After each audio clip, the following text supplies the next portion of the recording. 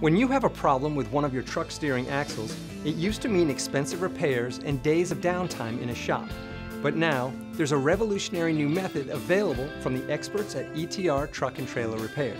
We use an APE machine to ream the worn axle eye and replace it with a new kingpin. These replacement parts strengthen your axle eye and can last up to twice as long.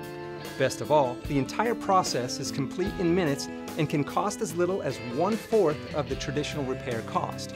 For more information, call, click, or visit ETR Truck and Trailer Repair today.